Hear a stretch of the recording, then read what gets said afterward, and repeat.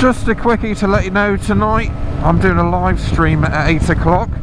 I'm going to leave the link open so anybody can come in. So whether you're a subscriber, a YouTuber, whatever, everybody is welcome to come in and have a chat about whatever you want to, really. So that's 8 o'clock, tune in and I'll see you there. I'll probably have some friends along as well.